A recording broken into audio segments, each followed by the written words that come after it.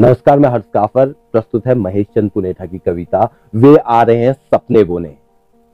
वे जो तुम्हारी आँखों में सपने बोने की बात कर रहे हैं, तुम समझ सकते हो, वो तुम्हारी आँखों को क्या समझ रहे हैं?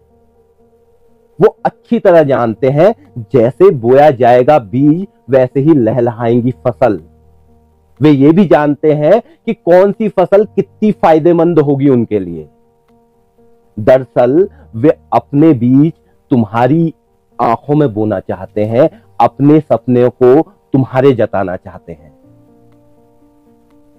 तुम्हारे खेतों में अपने बीज, उर्वरक और कीटनाशक डालकर सारी फ़सल निचोड़ लेना चाहते हैं। उन्हें खेत की उर्वरता और पर्यावरण से कोई मतलब नहीं है।